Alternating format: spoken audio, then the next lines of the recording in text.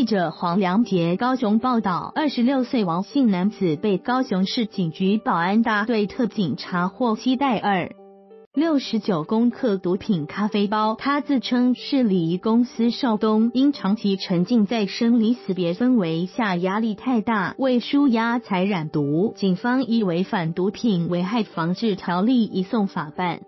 特勤中队今天指出，警组郑明义、曾一维、吴梦谦等三人于十三日深夜在三明区庄进路口见王男精神萎靡，形迹可疑。警方上前盘查，查出他有毒品前科，并在其手机外壳背面发现夹藏毒品咖啡包，经化验具 K 毒反应。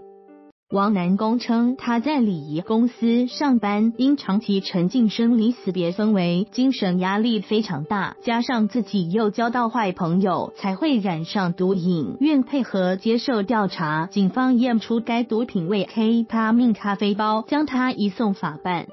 少一份毒品就多一份健康。自由时报提醒您远离毒品。